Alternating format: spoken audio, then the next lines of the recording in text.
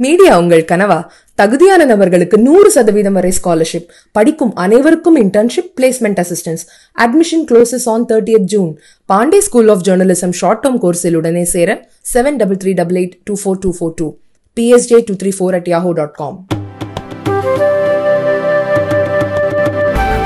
और वो तस्वीरें जो दिखाना थी चाह- जी। वो तस्वीरें थी ये शैलेंद्र हम आपको रोकना चाहेंगे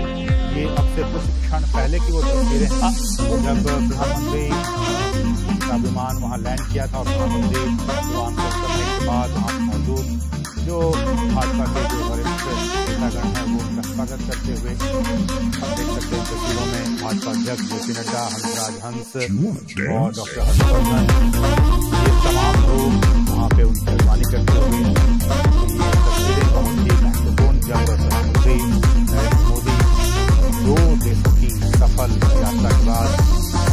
अमेरिका और मिस्र की पाँच दिवसीय राष्ट्रीय यात्रा संपन्न के बाद हैं हैं कि राष्ट्रपति जो बाइडेन के इन्विटेशन निमंत्रण अमेरिका की हाई प्रोफ़ाइल ये यात्रा और उसके बाद प्रधानमंत्री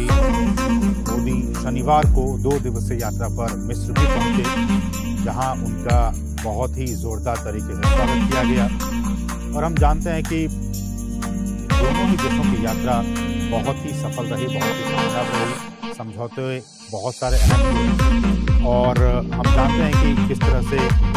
जो अमेरिका की यात्रा की शुरुआत हुई थी न्यूयॉर्क से हुई थी, जहाँ इक्कीस जून को प्रधानमंत्री अंतर्राष्ट्रीय योग दिवस के उपलक्ष्य में वो एक ऐतिहासिक कार्यक्रम का उन्होंने नेतृत्व किया था। तो शैलेंद्र, हम इस बात को लगातार कह रहे हैं कि चाहे वो अमेरिका की बात हो या फिर विश्व की बात हो दोनों ही देशों के साथ भारत के बहुत ही अच्छे संबंध हैं।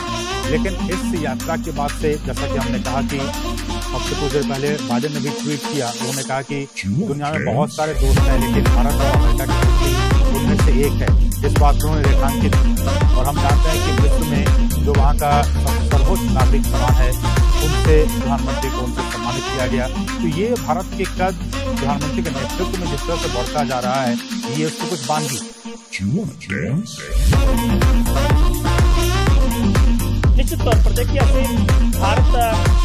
का दुनिया भर में बढ़ रहा है। आप उसे इस तरह से समझ सकते हैं।